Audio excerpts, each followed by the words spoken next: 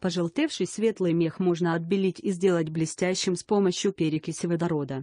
Смочите ватный тампон в растворе 3% перекиси и протрите ворс. Затем несколько раз протрите шубу тампоном с чистой водой.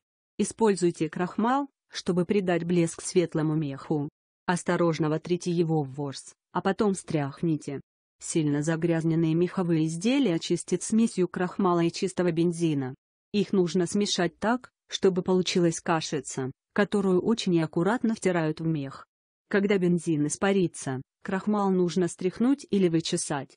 Небольшие загрязнения меха куницы, соболя, лисы, норки и песца можно удалить с помощью мягкого моющего средства или шампунью. Разведите его в теплой воде, смочите ватный тампон и протрите ворс, стараясь не намочить мездру.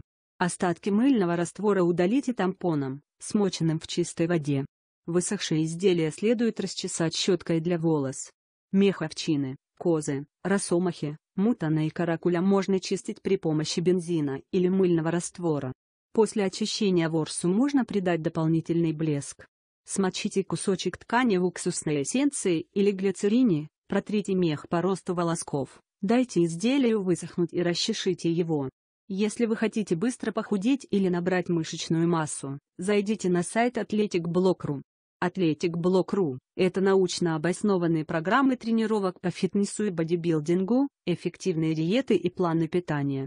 Здоровый человек успешен. Athletic Block.ru